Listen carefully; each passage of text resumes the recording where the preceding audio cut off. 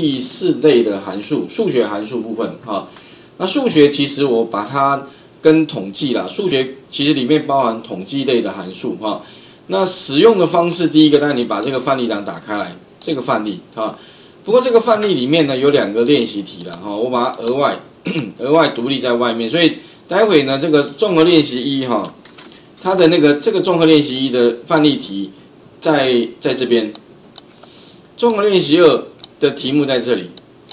啊，也就是说你要练习的话，可能要额外额外开启。那在这个地方跟前面不太一样是，这边可能只有什么里面的那个题目档啊题目啊。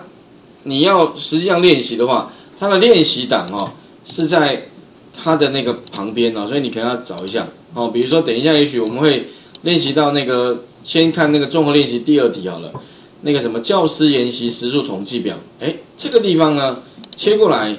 它可能就只有什么题目而已。但是呢，你要练习的话，你就必须怎么样？啊，打开这个练习档，这个叫教师研习时数统计哦。那其实这个这个教师研习时数统计的话，意思就是说，哎，比如说这个是总表，有总共这个这个学校有二十位老师，他的研习时数，那研习时数的话，哈，这边只有一个叫 Excel 的入门入门教学，那这些老师参加十四个老师参加，啊，其实实际上二十个有十四个，有六位老师没参加，那有一些老师只有参加一半，一点五小时。有些老师是全程参加三小时，啊，他是说要我们把这个序值三哦，再复制一个，那把这个改成三，序值三第三个，那把 这个地方的那个入门改成进阶，因为它有第二次的研习，第二次研习就进阶研习，啊，进阶，所以你这边把它改成进阶，然后呢，哎，你第一个跟最后一个头尾这两个老师没参加。所以他要我们怎样把头尾的老师删掉，好，然后呢编号这边怎么样？重新编，时数的话呢全部都是两个小时，所以那编号我想应该没问题吧，输入个一嘛哈，啊底下你就不用重新编嘛，你就游标放在储存格的右下，按 Ctrl 键。向下填满嘛，OK，一到十二，那每个人都两个嘛哈，输入二之后。这个时候不用按 Ctrl，直接填满，啊，每个人意思就是说哈，哎，有这些老师，有十二个老师参加，然后呢，参加时数是两个小时，好，那这样子哈，等于有两次的研习，那两次研习呢哈，他要我们怎么样，请你把这个研习时数给加到前面，哎，那当然一定会有什么有。第一次有六个老师，第二次有八个老师没参加，意思就是说可能会有，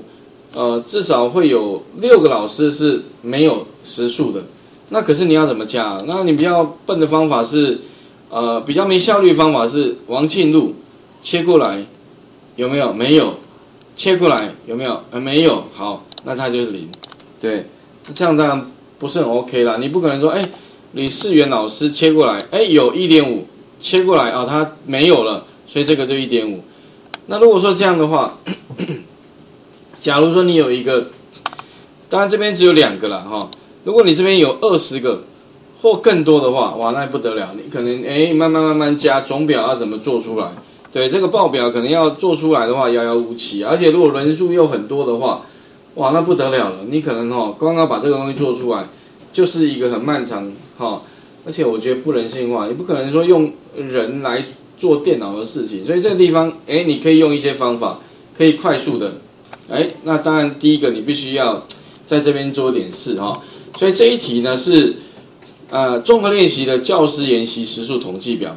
也许你们等一下有时间的话，可以做我刚刚讲的，第一个把序子二复制啊，记得哦，复制按 Ctrl 键。啊，拖拉的时候顺便 Ctrl 键，它就会多复制一个哈，把它改成序的三，第一个跟最后老师删掉，时数通通都啊两个小时，编号重新编，名称的话呢本来是入门的，来变进阶啊，这样应该没问题了哦。这个是第综合练习的第二题哦，哈，所以也许等一下我们讲完那个 sum if，哎，其实关键就是用 sum if 来做。OK，也就是说呢，你要加总，哎，可是加总那个时数会有个前提，就是判断一下前面那个人啊，哎，名字一不一样。如果跟总表里面那个名字一样的话，那你再加总；如果不一样呢，那你就不加总。OK 好，所以这个地方的话呢，我们第一个哈，稍微来了解一下 sum 加总啊这个部分的那个相关函数啦。我想 sum 应该没问题啊，这上面这边有个 sum 嘛，你可以自动加总，有没有？哎，加总这边也会出现，或者是你游标放在这个地方插入函数，在数学里面，哎，数学啊也会有个 sum，它会英文字母排列嘛，S U 啊往下 sum。不过你会发现，当然上面应该太简单了哈，所以哈，我们关重点会放在 sum if sum p o d a 其实 sum if s 跟 sum if 也蛮类似的哈，只只不过就是它的条件是复数的，啊，诸如此类的。那我们来看一下 sum 好了哈，也许你 sum，那加总的范围在哪里？给它一个范围，它会帮你把上面加总，OK。所以哈，你会发现这个很简单了，加总应该没问题。可能比较会有问题的是。底下这个，那请各位哈，这底下有三次月考，那如果三次月考，但我把它加起来，这个太简单了。我换一个变化啊，就是这个是三十百分比，第二次月考呢也是三十啊。假设啦，我们再多一个变化，四十，哎，那所以哈，你如果加总，像刚刚这个加总就就没办法，你不能说哎，直接我这边加总加起来不对。我除了要加之外，我还要配合上面有一个比重，所以哈，你如果会有个比重的话，哎，用什么方式来做会是最快的？当然哈，比较传统的做法是什么？如果你用公式啊，等于，哈，有没有？你也可以用，你如果没有这个这个函数哈，你可以这个乘积乘上上面的比重，加上这个乘积，哈，乘上它的比重，再加上。这个乘这个，哎，这样子其实做出来的话，打勾，哎，也可以做出来。不过哈，稍微麻烦一点点，有没有更快一点的方法？当然你可以向下填满，不过向下填满哦，记得要把比重，因为向下填满比重的部分呢，不能够改变位置，所以呢，向下填满的时候记得哦，把上面有十一列的，记得把它锁起来，十一嘛哈，这个是十一，所以这个十一。十一，十一，那怎么锁？特别注意啊，一样嘛哈，前面好像有讲过，在十一前面加个钱的符号就可以了。当然，不过一般书里面大部分都是叫你按 F 四啦，把 F 四变成哈栏跟列都锁，因为我们向下填满只会增加列了，所以其实我是建议啦，你慢慢还是养成习惯。如果只会向下填满的话，记得锁列就好，不要栏列都锁。养成好，因为有些人真搞不清楚栏跟列锁定的这个观念，因为都习惯按 F 四哦。我是建议是直接锁列就可以了，按打勾向下填满。好，第一个我用公式可以做出来。那你想说，老师那有没有快一点的方法？当然有啊，插入函数。哎，其实你可以看到，在那个 sum 函数啊，一样数学与三角里面呢，有一个叫 sum 什么了？sum 底下还有一个什么？sum product。哎，sample 打跟 sum 有什么差别？如果说呢，你要加总，但是你还要比重的话，你可以用山坡的，它是怎么样？除了这个范围，它有没有？哎，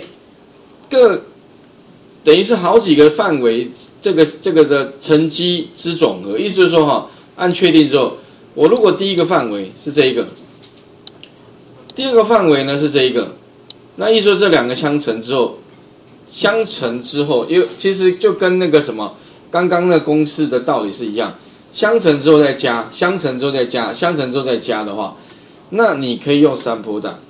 对吧？而且呢，三波档哈，它不是只有两个范围啊，你三个、四个、五个，它最多呢，它可以到两百五十五个范围，好，有没有？相乘之后再加的话，那你可以用三波档，哎呀，OK，按确定之后啊，不过确定之之前哈，记得怎么样？把，因为等一下也要向下填满，所以请你把第十一列给锁起来。锁锁起来的话，你如果说好像这个要一起锁的话，你可以按 F 四啊，选取按 F 四。那按 F 四呢，它会栏跟列都锁。我是建议你可以再按一下。这个时候呢，只锁列就好，因为我们等一下只要向下填满，没有要向右填满，所以呢你就锁住列哈，在列前面十一列嘛哈，前面加个前人符按确定，好，那我一样把它取到整数好了，向下填满，OK，那你会发现呢，哎，这个的结果跟这个的结果会是一模一样，但是哈三坡大哈应该会比较简单一点点，不用说，假设你因为只有三个乘积还好。如果你有十个乘积的话啊，如果你用刚刚的公式来做的话，哇，那你点